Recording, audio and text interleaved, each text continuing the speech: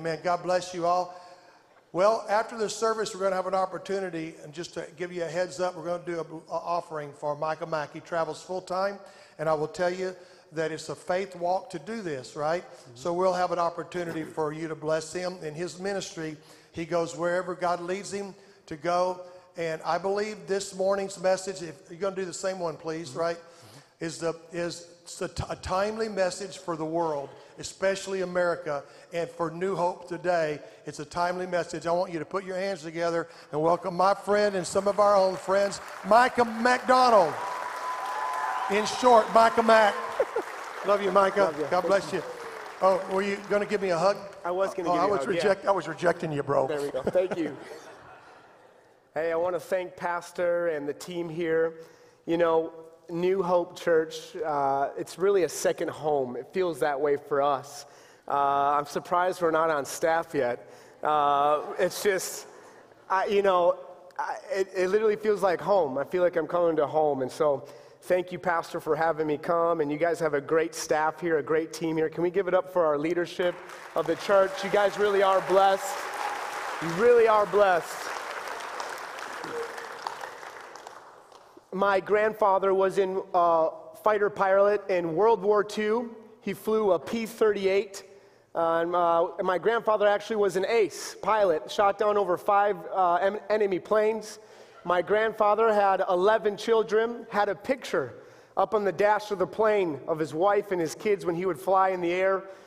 And um, uh, about a couple months before D Day, my grandfather's in combat in the air with another plane, and my grandfather's plane gets shot down to where he has to do a dead stick landing. There's no motors in the plane, no engine whatsoever. My grandpa, being above uh, um, the earth, looking down on it, trying to find the best place to land. The enemy overpasses them, knowing that they're shooting down the plane. And my grandpa, as he's looking at the family pictures, thinking, This is it, this is the end of my life.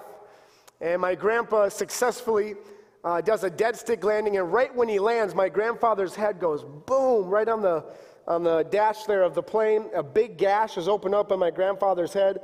He was knocked out for a while, was concussed. When he woke up, there was blood all over. He gets out of the plane, and he had a gun, some personal belongings, and his first thought was the Germans saw me land.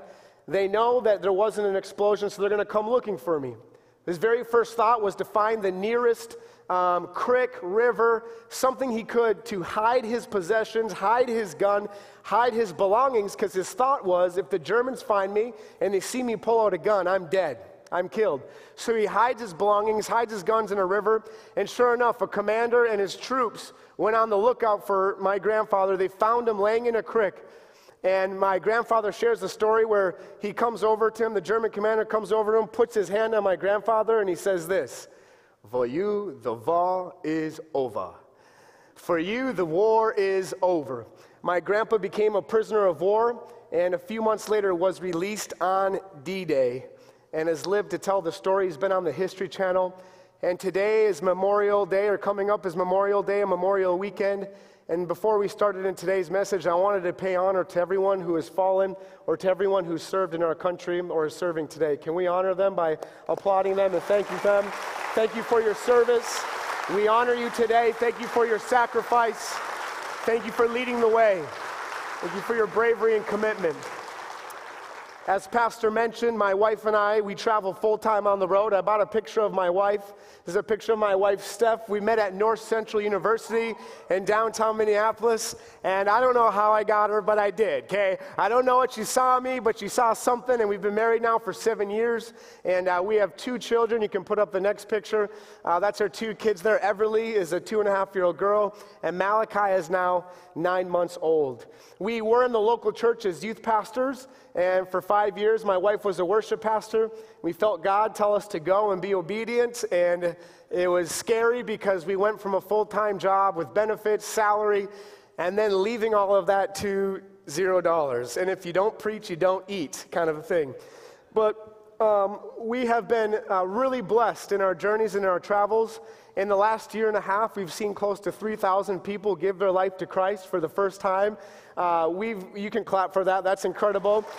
Um, we've watched God do the miraculous. And the reason why I'm telling you all this and giving you a report is because I feel like I'm here four to seven times a year ministering to your youth or to the families here. And I want you to feel like you're a part of the ministry that we get to do. And so, one of our prayers is God, make it permanent. Let it not just be an encounter, let it not just be a momentary thing. God, let the work of the Spirit that takes place in every single heart be a permanent one one that lives out on the daily life, one that's transformative.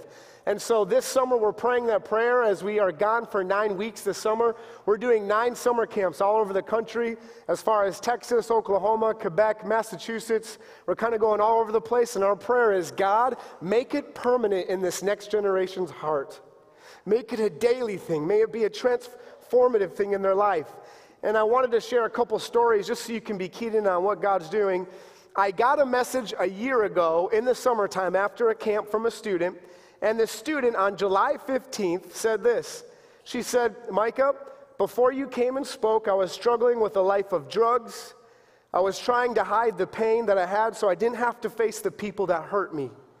I knew God had an amazing plan for my life, but I was too hurt to follow it. I was able to give that up to Jesus this last week at camp. Thank you so much for coming and sharing. And by the way, I've started a prayer room in my house. Every morning, I ask God to continue to deliver me from the addictions and struggles that I face. That was July 15th of last year.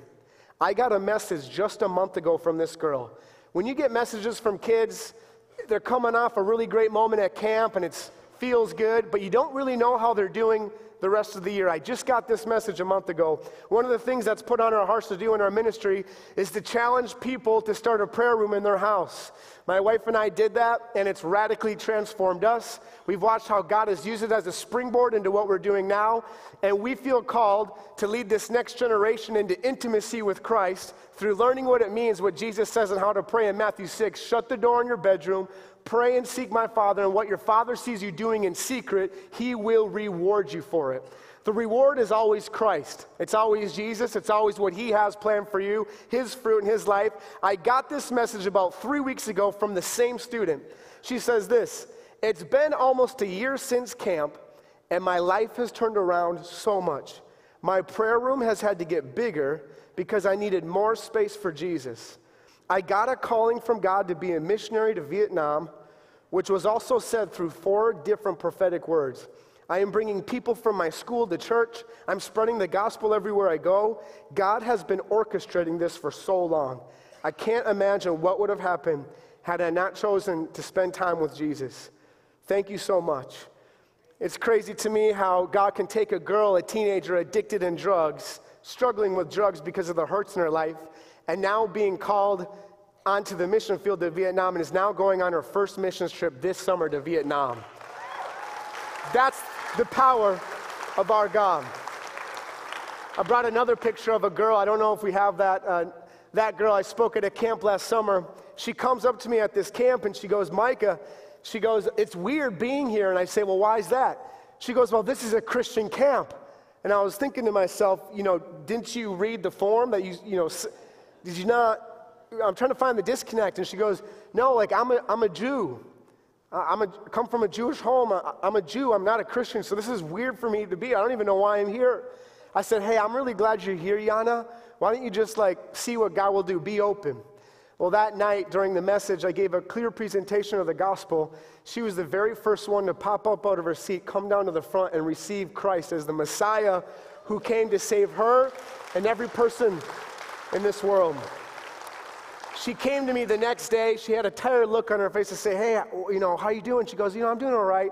She goes, I've had insomnia for the last several years and I can't sleep. I have a sleeping disorder and I've never been able to sleep. And I just felt like the Holy Spirit nudged me in my heart saying, Mike, I'm going to take care of this. And so I said, Hey, you know how you surrendered your life to Christ last night? She goes, Yeah. I said, That same Savior who saved you last night is the same Savior that's going to heal your insomnia and tonight you're going to get the best sleep of your life. And she was like, What? That's possible? Like, that can happen? I said, Yeah. I said, Let's pray. And so we prayed that she'd be delivered and free of insomnia.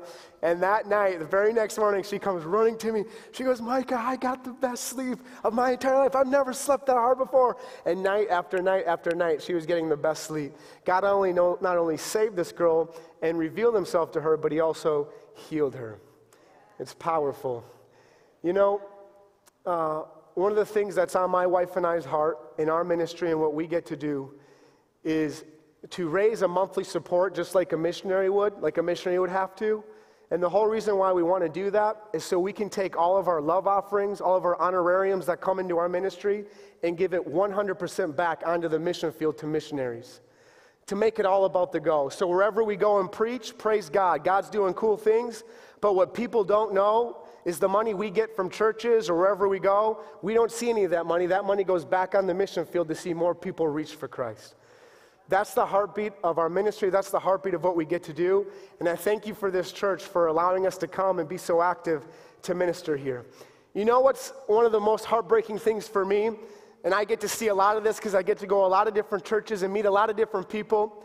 It's the people that had a powerful experience with Jesus at some point Maybe it was an encounter. Maybe it was a healing that took place. Maybe it was receiving His grace or encountering His presence for the first time. But what really breaks my heart is seeing people have those moments, but letting it be just a moment and never actually following Jesus. It breaks my heart that we can experience the supernatural, we can experience the miraculous, but yet never actually follow the person who did it in our life. Another thing that breaks my heart are the people that may be in the room here today where you've grown up in the church. The moment you were born, you were dedicated in the church. All you remember is maybe the Sunday school and the different things growing up in the church. But yet, it's like your life is based on what you do versus what He's done for you. It's almost as if your life is lived from a perspective of legalism or rules or trying to keep a certain way or checking things off. And it's possible that people can spend their entire lifetime completely missing out on the presence of God, on the presence of Jesus, because we are so self consumed with us and our religion. Today's text, where I want to lead you to, comes from John chapter 5. And if you brought your Bibles, we're going to be looking at 16 verses today. I've never preached this message anywhere else. This is a message I felt like God put on my heart for this church, for this time right now. It's John chapter 5, verses 1 through 16. And something you need to understand about this text is before we even jump into the text in John chapter 5, is Jesus was just in the Galilee area for a while doing ministry. If you know anything about Israel or you don't, that's okay. Galilee was in the north part of Israel, Jerusalem was in the southern part of Israel. It was quite a journey to walk to and from. But Jesus spent most of his ministry in Galilee. Out of the three years that he ministered, from age 30 to 33, is what they believe. Those three years of ministry, most of those years were spent on the Sea of Galilee. Sea of Galilee is not actually a salt bodied water, it's not an ocean, it's a lake, a freshwater lake. In fact, a unique note about the Sea of Galilee is the water from the Sea of Galilee flows up from the mountains down, all the way down into the Dead Sea, the lowest uh, body of water on the planet of Earth. Okay, it's called the Dead Sea. And so Jesus spends most of his ministry up there. But when we get to John chapter 5, we see Jesus actually ends up in Jerusalem for a big feast that's going on. If you were a Jewish person or called yourself a Jew, a couple times a year, you would travel to Jerusalem to be a part of the festivals, to be a part of the rituals and some of the laws that were there for the people to celebrate, commemorate, and remember what God had done for the Israelites. So Jesus finds himself in John chapter 5 being there. In verse 1, it says, Sometime later, Jesus went up to Jerusalem for one of the Jewish festivals. Now, there is in Jerusalem near the sheep gate a pool, which in Aramaic is called Bethesda, and which is surrounded by five covered colonnades. By the way, I happened to see the pool of Bethesda when I went to Israel just this last spring. And if you ever, if you ever get the opportunity to go to Israel, or someone presents an opportunity for you to go to Israel, Israel and archaeological digs literally prove the existence of God's scripture and his protection of scripture. You open up your Bible, you walk the places that Jesus walked, you walk the southern, temp- the southern steps of the temple, you see the pool of Bethesda, you see the pool of Siloam, you see these places where Jesus walked, and the Bible comes to life. It's incredible. I say it like this there was a man in his 80s where he dreamt to go to Israel. He finally got to Israel in his old age. And when he gets there, he begins to weep and begins to cry. And his friend said, Why are you crying? What's the big deal? And he said, I wish I would have done this when I was younger. I wish I could have seen all this when I was young in my faith. I wish I could have witnessed this. And so the pool of Bethesda, they know for sure, is one of the spots where a miracle took place. And here, Jesus shows up to this pool, and it says in verse 3 there was a great number of disabled people that used to lie there the blind, the lame, they're paralyzed. And so you have this group of people that are living there. In verse 5, it says, One who was there had been an invalid for 38 years. When Jesus saw him lying there and learned that he had been in this condition for a long time, he asked the man, Do you want to get well? Verse 7 Sir, the invalid replied, I have no one to help me into the pool when the water is stirred. While I'm trying to get in, someone else goes down ahead of me. Then Jesus said to him, Get up, pick up your mat, and walk. If you're taking notes today, I want to lead you to your first point. Your first point being this is Jesus loves to find the broken you and he loves to heal you. He loves to find the broken you and he loves to heal you. What I love about this text here in John chapter 5 is in a lot of other areas of scripture, you see people in their desperation trying to locate Jesus because the narrative of, the narrative of Jesus is that he's a healer.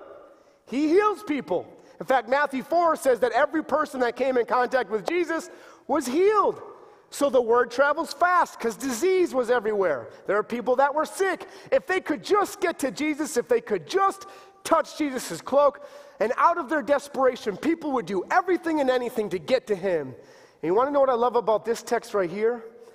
Is this man doesn't know who Jesus is when he comes up, but this right here reveals the very character and nature of Jesus, and it's this that he loves to find broken people and heal them. And by the way, this right here is a hope for somebody in the room. This right here is the feel good part of the message. It's the feel good part of the story. In that, this while you and I were enemies of Jesus, while you and I were yet sinners, messed up, jacked up, broken, addicted, while you and I were far away from Jesus, undeserving of His grace and undeserving of His mercy, God chose His one and only Son to die on a cross for you because of His love to go and find you. It was a bunch of people, a broken people that existed in the world and still exist in the world today. And this text right here in John chapter 5 of Jesus finding a man for 38 years with a crippling disease to where he can't get healed, decides to go and find him and bring healing to his brokenness. Anybody in the room addicted? Anybody in the room can't get away from what you're facing? Anybody in the room can't break free, feel like it's the same thing over and over? Anybody in the room desperately need a miracle? Jesus can take 38 years of brokenness, 38 years of being an outcast, and flip it within one moment. That's the power of our God and who God is and what He loves to do in His creation. He loves to redeem the broken things of your past, of your present, I don't care what your problem is. I don't care what you came in with. I don't care if you're hooked on drugs right now or if you're hungover from the night before. Christ can meet you, desires to find you, and He desires to heal you and never leave you the same. And know what's amazing about God? This story right here reveals the character and nature of Jesus in that Jesus is good. That He is good. Did this man deserve it? I don't know.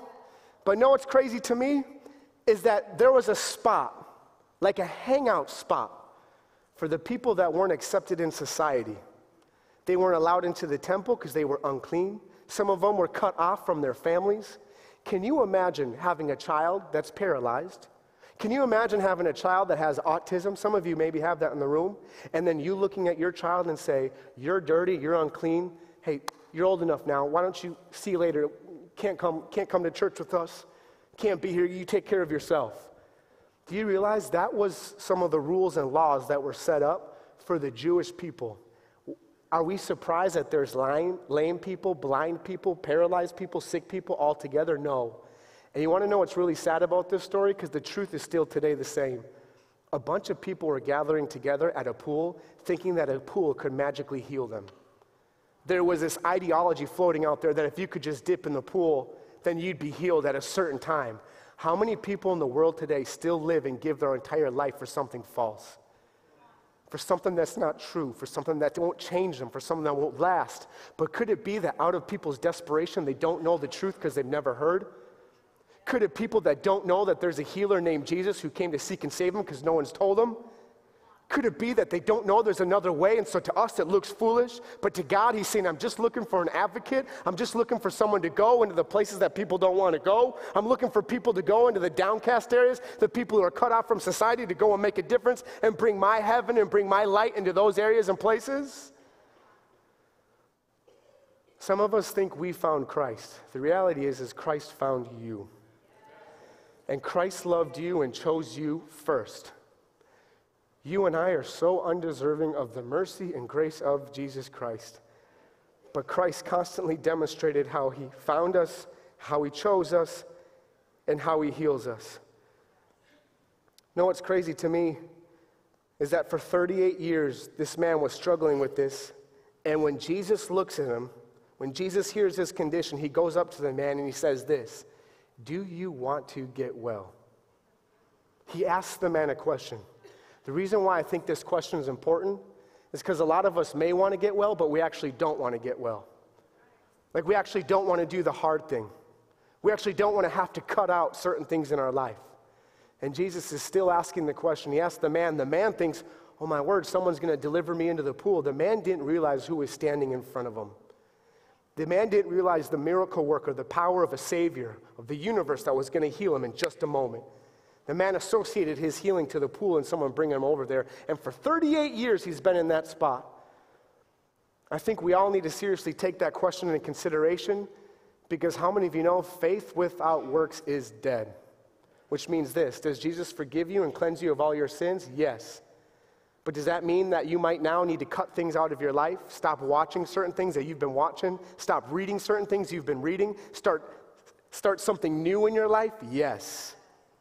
Because the steps to freedom is found in Christ, but to remain in Christ is a process of surrendering to His will over your life. Him being Lord of your life. You know what's crazy? And this is kind of sad.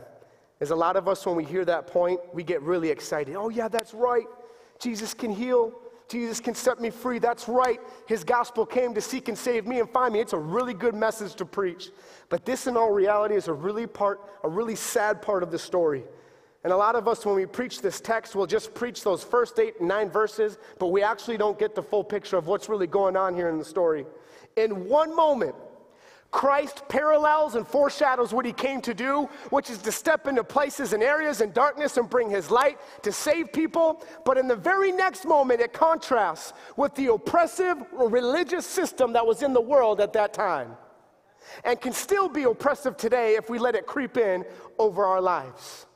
At one moment, Jesus came to show what he came to do, and in the very next moment, the religious leaders, the Pharisees of the day, they encounter this man and now they add burdens onto him rather than celebrating with his healing and with his deliverance.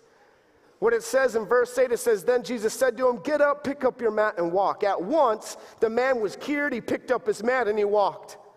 The day on which this took place was a Sabbath. Now, when you read that in Scripture, you're like, oh, that's not a big deal. You know, it's a Sabbath day. Sabbath day was a day of rest. God created it, God designed it. But this was different. The religious leaders on Sabbath day actually made it a miserable and oppressive day for Jews. It was never enjoyable. It was never life giving. It was never restful. It was never uplifting. It was never restorative. The religious leaders of the day took what God intended, put their own man made laws on it, and made it oppressive for the people so that their religious system could be celebrated and be exalted. In turn, it kept a whole bunch of people in bondage. And if you're taking notes today, your second point is this is religious people will guard their preferences in exchange for his presence. Religious people will guard their preferences in exchange for his presence. It's, it's, it's as if, like, oh, that doesn't work with me. No, no, no, that doesn't work with me. And what ends up happening is God's presence is squelched. Can you imagine this? This man of 38 years being free, being delivered. He can finally walk. The thoughts of getting his normal life back, the thoughts of being able to go to the temple, the thoughts of seeing his family again, the exciting things that a miracle would have meant for this man sitting at a pool is encountered by the Pharisees. And it says, when they saw him on the Sabbath, the Jewish leaders said to the man, It is the Sabbath, and the law forbids you to carry your mat.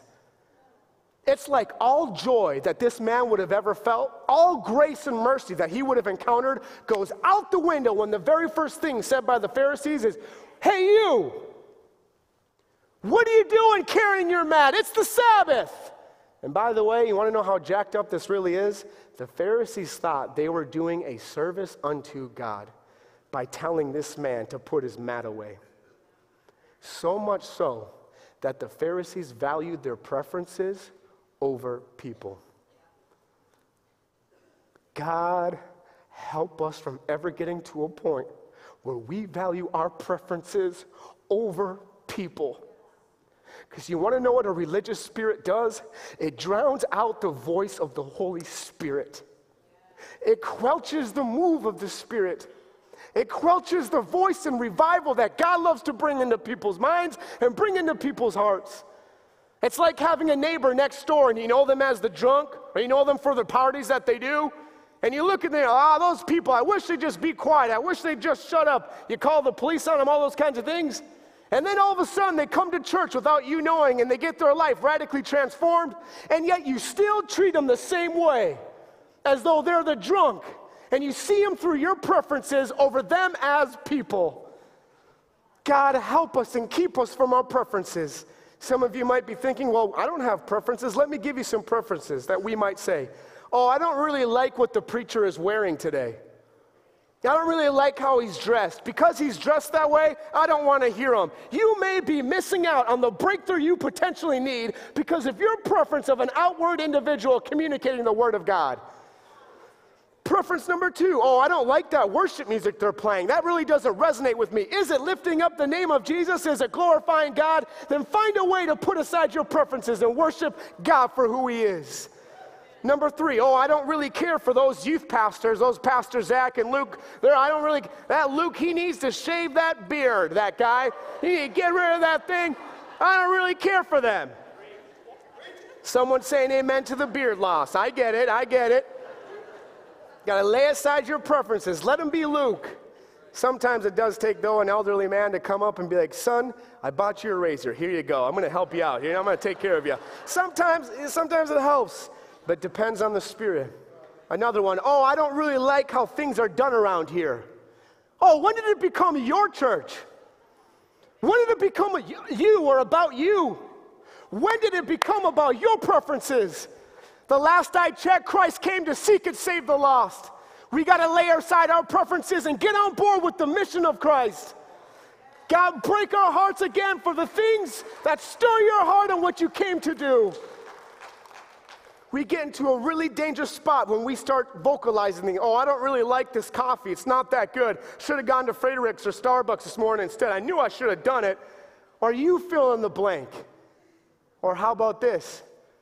oh, wow, I can't believe she wore that in church today. I wonder how many men she's going to get to stumble. When you don't know that someone from this church invited her, and the night before she was prostituting herself. And she's here to hear the message of grace, and there you are with your preferences judging her. It squelches the heart of God for 38 years. 38 years, this man had been imprisoned by his disease. It was his identity. And in one moment, mercy meets him, and the very next moment, the religious leaders squelch him.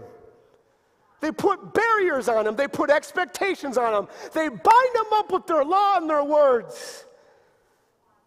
This story, in all reality, as much grace is found in the beginning of it, is a warning and a sign to what happens when religion rules your mind versus Christ transforming your mind. You're either a person of God's presence or you're a person about your preference, but you cannot be both. Don't allow the presence of God to be squelched from your life because your preferences are in the way. Jesus came to establish something new And his new was this God, I love you with all my heart. I'm only going to do what I see the Father doing. God, I love you and I love every single person. God, the religious leaders tick me off because they're leading people astray, but I love the religious leaders too. This was the heart of Jesus. As I was preparing for this message to preach, there was a worship song I couldn't get out of my head during this whole time I was preparing. I'm going to sing it a little bit. I'm a horrible singer, but here's how the song goes. I'm coming back to the heart of worship, and it's all about you. It's all about you, Jesus. I'm sorry, Lord, for the thing I've made it when it's all about you. Oh, it's all about you, Jesus. God, forgive the Pharisee I see in me. God, forgive my preferences that are in me. And let me get back to what it's all about, and that it's all about you, Jesus. God, let my heart beat again. Let my heart worship you again. Let my heart be thankful. Let me come with thanksgiving and praise in my mouth, not slander and gossip, not what used to be. God, let me be a new wineskin where your new spirit can be poured out within me. God, let me be a conduit. God, let me be a vessel that just makes it all about you. God, let me identify with your sufferings. God, let me identify with what you came to do. God, may I carry the mind of Christ, transformed and renewed into your likeness and to your desires. God, forgive the Pharisee I see in me. If I were to be completely honest, I think I resonate a whole lot more with the Pharisees than I do with Jesus. In fact, the title of this message is titled The Pharisee I See in Me, and how it can so easily creep up to where I am squelching Every time we do not celebrate with our brothers and sisters' victory, we have a Pharisaical mindset. When our brother and sister have a breakthrough and we come and we hear it, and then we start playing in our mind how it's not real, how it's not true, that's a Pharisaical religious spirit. We should be the first to stand up, applaud, say, Let's go, brother, let's go, sister. I'm in this with you, let's do this, come on. When one of your brothers or sisters wins, we all win. We're a part of that victory. We're with them on that. You see, Jesus loves to find broken people and heal them. But we see the flip side of this text where religious people love to guard their preferences and they completely miss out on the presence of God. And your third and final point today is this is religious people care way more about what man thinks of them than what God thinks. Religious people care way more about what man thinks than what God thinks. You see this played out in the text pick up your mat and walk. So they, the religious leaders asked him, So who is this fellow that told you to pick it up and walk? The guy didn't know. Jesus slipped away. It says that the man who was who was healed had no idea who it was, for Jesus had slipped away into the crowd that was there. Verse 14 Later, Jesus found him at the temple and said to him, See, you are well again. Stop sinning, or something worse may happen to you. In verse 15, the man went away and told the Jewish leaders that it was Jesus who had made him well. And then verse 16, so, because Jesus was doing these things on the Sabbath, the Jewish leaders began to persecute him. From this moment, right here in John chapter 5, is the very moment that the religious leaders begin to persecute Jesus for the remaining chapters of John.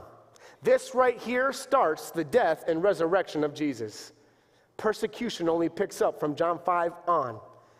And right here, can you imagine this? I don't know how you would be. 38 years you've been unable to move, been hoping for a miracle, hoping to get in the pool. You're excommunicated from society. You can't go in the temple. You can't be a normal human being. And then someone comes along and restores your value, restores your dignity, restores you to being someone in society. Don't you think if you found that person again, you'd want to go to them and be like, Thank you so much. Thank you for healing me. Thank you for setting me free. I've seen my family again. My life is restored. I want to follow you and I want to worship you. This right here is one of the saddest stories in all of Scripture, and it happens to our life often. Rather than this man thanking Jesus and worshiping him, his very first thought is to go find the religious leaders who accused him and go tattletale and stab Jesus in the back. Why? Because he was more concerned with what religious leaders thought of him than the Savior of the world. Like this man meets mercy. Do you realize Bethesda, the pool of Bethesda where this miracle happened? Bet meaning house. Bethesda, it's the house of mercy. Jesus demonstrates mercy to this man's in the first time of his life, and then he backstabs the mercy he freely received. And some of you might be sitting there being like, what a joke. Why would a guy do that? His life's transformed. But you and I are guilty of the very same thing. How many of times have we come to church and we worship God and we love Him, and then the very next day, it's like we're back to the same old life, same old, same old. You want to know what's so beautiful about the gospel? What's so beautiful about the gospel is that Jesus chose to love people knowing full well he'd be betrayed, backstabbed, hurt, mutilated. That right there is love. I have one question for every person in the room today Do you want to get well? Do you want to get well? Here's what I mean by that it can mean multiple things. One, you're away from Jesus, you're not following him. You don't even know him. Maybe you're like the man for 38 years. You didn't know there was a God who loved you to come and get you and even reveal his mercy to you. And today, your being well is him saving you, forgiving you of your sins, transforming you. But maybe there's another kind of person in the room where you want to get well, and it's this You've allowed the religious system of today to be your God, and you every day live in shame, you live in regret, and you live in pain because you've never lived from the peace and perspective of the gospel. You've never truly had rest over your soul because you see the inadequacies in your life and you see the sin in your life, and you don't feel worthy of His grace and His love. And in turn, you get driven into a people pleasing mentality pleasing religious leaders, pleasing people that you come in contact with. Grace sets you free from the approval of man. And grace allows you to be affirmed by the one that made you and created you, where you now live from a perspective of rest rather than trying to go and get rest. Your identity shifts, your identity changes. Do you want to get well? Because Christ is that will be that and do that for you. And maybe there's another person in the room where it's hard for you to be joyful. In fact, it's more easy for you to be critical than it is thankful because the religious spirit that's in you and on you, and it's squelching the presence of God in your life. Do you want to get well? Do you want to be healed? And then the last group is there's people who have a physical condition in the room where you have never been able to get well from it. It's been a part of your life, like this man for 38 years. Jesus is saying, Do you want to get well? There's someone in the room today that has colon issues. It's impacted, uh, maybe even been di- diagnosed with Crohn's disease and you've been medication on it. There's also people in here where you've not been able to get pregnant. You're struggling with infertility. Um, there's people in here where uh, you have a hip, something wrong with your hip, a hip issue. Um, these are things I feel like the Holy Spirit just specifically showed me before today's service. Holy Spirit, show me areas in people's bodies that you want to deliver and be free and healed in Jesus' name. I don't want to pray, God, direct the surgeon's hands. I want to pray, God, do it right now. Heal him right now. Do it right now in Jesus' name. Finish it right now. Do you want to get well? He still asks it today. Maybe you came in from all over the place, different areas, spaces, and places, backgrounds, and you didn't know Christ was going to show up and find you, maybe again or for the first time today. I want everyone to bow their head, close their eyes. I want to ask you a question. Jesus didn't just come to momentarily heal you, Jesus came to make himself home inside of you, to live with you, to walk with you, to speak to you, to disciple you, to heal you, to cleanse you, but to you as a person to be someone that follows him. If you're here today and you're saying, Micah, I want to get well, I'm not following him, I've never followed him, I've never let him into my life, don't really care about him, but today I want to give my life to him and surrender to him, then I want you to put up your hand wherever you are. Just slip it up, saying, Hey, I want to get well. I want to come back to Christ. Or I want to give my life to Christ. Praise God. Anybody else? Awesome. Praise God. Praise God. Cool. Awesome. About eight hands, eight or nine hands just went up to say, Hey, I want that. And what I love about the Father is the minute he sees one of his children turn their hearts, he starts running to them. He starts running to them. And he gives you his best. He gives you his goodness for your brokenness. He exchanges it. God, I thank you for the nine people that this morning are saying, God, I'm back. I'm coming back. God, you met me, you found me again. Help me to follow you, God, all the days of my life. Another question I have for you Do you want to get well for the people in the room where you walk in shame, you walk in guilt, or you've walked in physical bondage, like your back's jacked up, your body's messed up, you have cancer, whatever it might be, and you need a miracle? You need a breakthrough, one where God shows up and does what only He can do. I just want you to put up your hand wherever you are. Need something physically. Maybe it's infertility. Maybe it's the Crohn's or the colon, what I talked about today. Praise God. Awesome. There's about 80 or 90 people with their hands raised. In a little bit, what I'm going to do is I'm going to ask everyone to stand, not right now, but in a little bit, I'm going to ask you to stand. And then for those who need healing or want to get well, or you respond to one of those, I'm going to ask you to come forward in a little bit. I'm going to ask if the church can come forward. Not just a special group of people, but the whole church coming forward with these people that want to get well. Because if we're all honest, we all want to be well. We all want to get well. We all need Jesus. We all need His Spirit. So if the church could stand, if you could meet me down front the best you can, the people that responded, the rest of us coming together as a church body, I want to pray over you today.